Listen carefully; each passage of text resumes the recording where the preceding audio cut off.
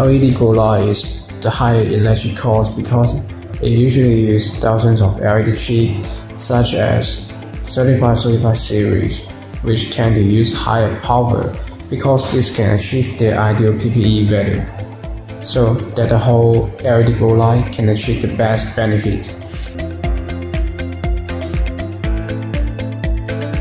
First, we can calculate the quantity of LED you need according to your target PPFD.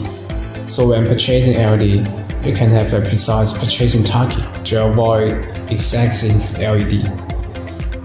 Second, no matter what kind is your LED grow light, the quantum board, bar light, or others, or you want to design your own new light, we can help you to design the whole circuit.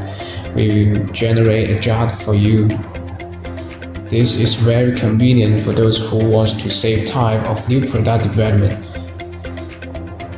Finally, we could provide a detailed parameter report including the PPF and YPF and all the parameters we show in the datasheet accurately. The whole set of solution will be given to you within 24 hours.